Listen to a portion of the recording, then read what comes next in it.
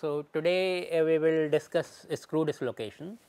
We have already looked at uh, the defined screw dislocation in terms of Burgers vector and the line vector. We said that if Burgers vector, if the Burgers vector and the line vector or the tangent vector are parallel, then we have a screw dislocation. And we have a screw dislocation which essentially means Burgers vector is the slip vector. So, the slip direction slip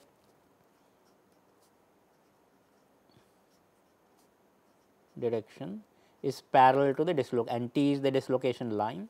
So, slip direction is parallel to the dislocation line.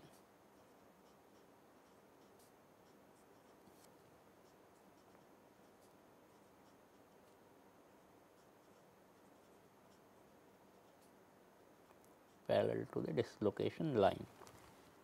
We also saw another configuration when B was perpendicular to T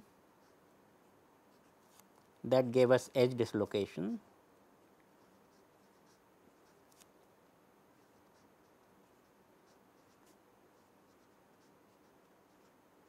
And then we saw the atomic model of this edge dislocation which was an extra half plane. So, there is an extra half plane associated with the edge dislocation.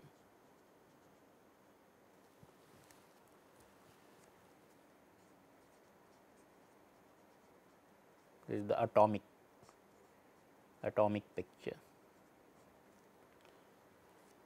We want to, we have not yet seen what is the corresponding atomic picture of a screw dislocation. So, in this uh, video we are going to do that.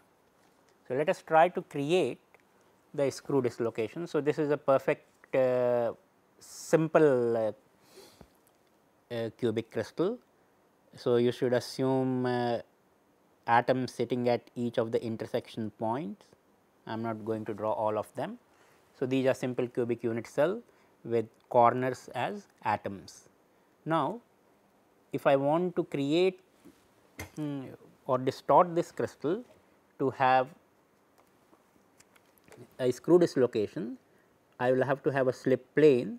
So, let me identify this plane, this vertical plane as my slip plane. So, the vertical plane divides the crystal into two halves, the left half and the right half. And let us say that the right half slips with respect to left half to create the dislocation line. Now, if the entire right half slips with respect to the left half, then there will be a complete slip and there will be no dislocation line, because as we have seen dislocation line is the boundary between the slipped and unslipped part. So, on this on this slip plane on the red slip plane, I now draw a line which is going to be my dislocation line this black line which is defining a boundary on this slip plane and dividing the slip plane into let us say a front side and a back side. And I would like to confine my slip on the front side. So, let us now try to slip to create introduce a slip in this crystal such that the right half slips with respect to the left half, but slip is confined only to the front side of this uh, black line. So, the back side will not be not be slipping. So, that is the no slip region. So, we have we create a boundary between slip and no slip region. So, the black line will be will become a dislocation line. It is not as yet a dislocation line because all this drawing is superimposed on a perfect crystal, but now let me try let me challenge my drawing skills for you to try to slip this uh, right half by an amount equal to one interplanar spacing. So, that is what will become the Burgers vector. So, if I try to do that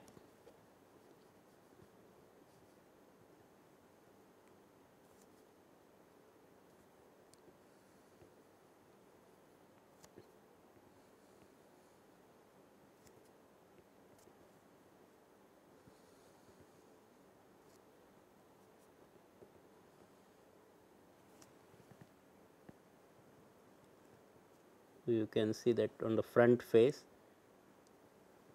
I have tried to create the effect of that slip. The right part of the crystal has been pushed one step down with respect to the left.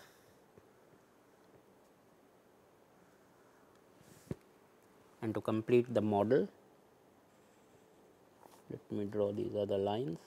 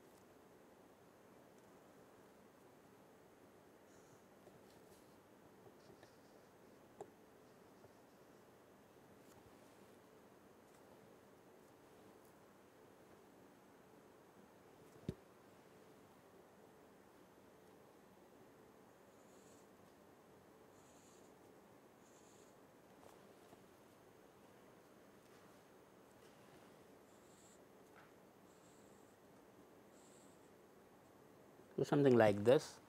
You can see we have created a ledge here.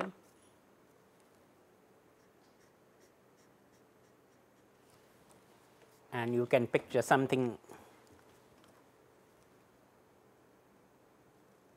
of the kind of slip which you are trying to create that the right half has slipped with respect to the left half, but the slip is confined only to the front of the vertical boundary the vertical black boundary which we had decided to make a dislocation line. So, now this line has become a dislocation line. So, this is the dislocation line and since the slip direction is parallel to the dislocation line, this will be a screw dislocation line from our definition. So, this will be a screw dislocation line. The name screw comes from the fact if we try now let us start to make a circuit on the top face of the crystal and I will try to make this circuit by starting at this point and going in a clockwise manner. So, let me try to complete a clockwise circuit on this top surface. So, if I try to do that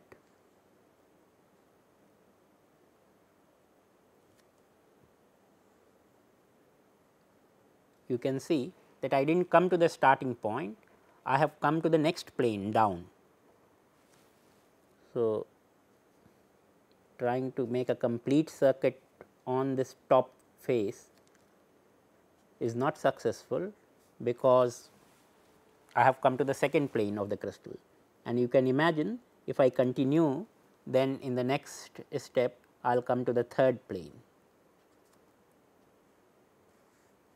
So, essentially what is what has happened is that discrete planes here in the perfect crystal we had discrete planes perpendicular to the dislocation line. These planes somehow the dislocation has the screw dislocation has connected them into one single spiral ram. So, let us uh, note that that parallel planes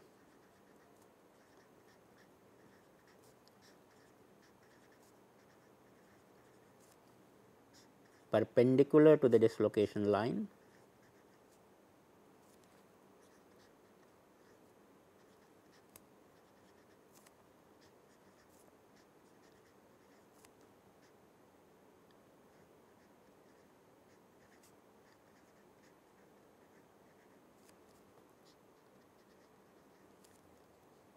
Join to form a continuous spiral ramp.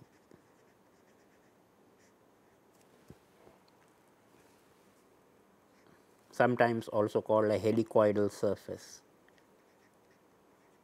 maybe more accurately helicoidal surface because a spiral is a two dimensional curve, Helic, helix is a three dimensional curve and the surface is in three dimension.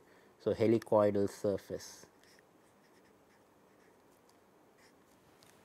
and this is what gives the name screw dislocation and the, the screw dislocation itself is the axis of this helicoidal surface. So, with dislocation line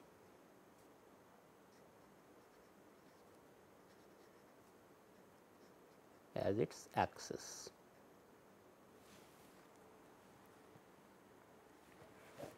So, I hope this gives you some picture of the atomic picture of the dislocation line that uh, how the dislocation screw dislocation there is no extra half plane associated with this dislocation you can see, but the planes perpendicular to the dislocation line has become into a spiral or helicoidal surface and this is what gives the name screw dislocation. Another thing if you see uh, we will discuss that in some detail later is that this spiral ramp is a right handed spiral. That is if you go clockwise the circuit is taken clockwise you are going down. This is what you will obtain. If you curl the fingers of your right hand then uh, if the curling is uh, clockwise the thumb is pointing down. So, that is why this will sometimes if you want to be more precise you should call this a right handed screw dislocation. We have a model here which I will try to show you the right and left part and they have slipped. This is the vertical uh, plane on which the slip is taking place, but the slip is taking place only on the front side of the crystal if I look at the back side and I am turning it uh, 180 degree to look at the back side, you can see that the back side there is no slip. So, on this vertical plane slip has taken place, but not on this side only on the front side. So, somewhere somewhere on this vertical plane there will be a boundary between the slipped half which is on the front and the unslipped half which is on the back and that line will be the dislocation line in the next video we will look at Burgers circuit in a different way. We have already described Burgers circuit, but another way of looking at Burgers circuit uh, we will see in the next video.